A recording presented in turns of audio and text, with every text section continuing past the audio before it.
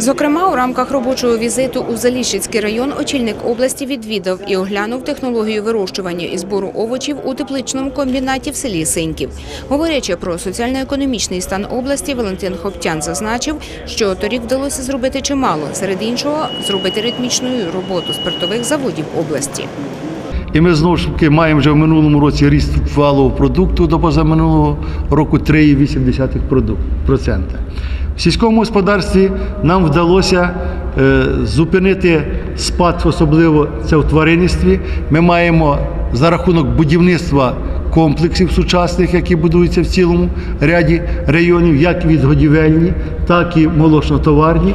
Маємо вже ріст 35 позаминулий рік і в минулому році 25 ріст виробництва молока і ріст виробництва м'яса. Я говорю не в, в дядька дома на городі, а ріст це в господарствах.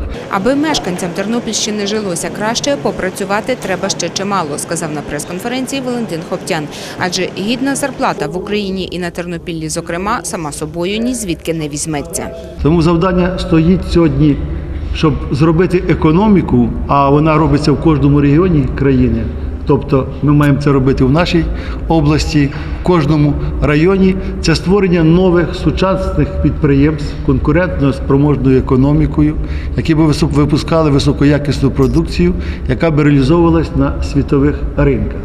І тільки тоді, коли ми будемо продукцію реалізовувати по світових цінах, європейських цінах, на європейських світових ринках, тоді і ми можемо говорити і про заробітну плату, що має бути вона європейською. Ми сьогодні розуміємо, що ми маємо довести хоча б до тисячі доларів заробітну плату, тисячу євро. Таке завдання.